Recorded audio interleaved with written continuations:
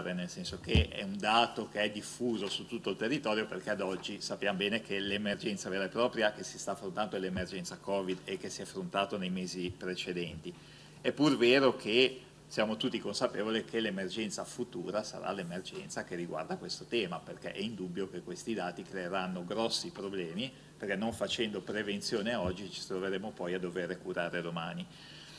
Io credo che questo provocherà delle conseguenze pesanti e tragiche per le persone, per i cittadini, ma soprattutto per i sistemi sanitari regionali.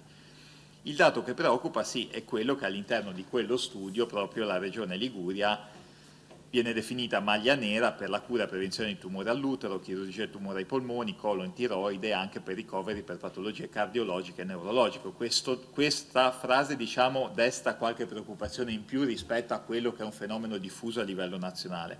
Per cui per completare quanto chiesto dai miei colleghi con questa integrazione chiedo gentilmente al Presidente Totti se ci sono dei dati in nostro possesso riguardanti tali riduzioni di attività di prevenzione e cura, perché qua si parla genericamente di una riduzione, ma sarebbe interessante capire di quanto sono stati ridotti e soprattutto quindi se c'è un piano poi per rilanciare terminata l'emergenza Covid. Grazie. Grazie consigliere Boscello per la